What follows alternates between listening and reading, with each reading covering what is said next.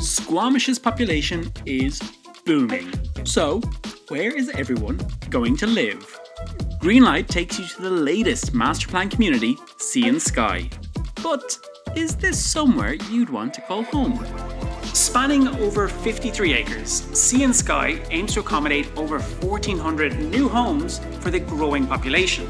So, if you've got questions about what a life in Squamish might look like if you were to buy a home here, then keep watching because we've got the answers. Well, the number one thing that you gain from buying into a master plan is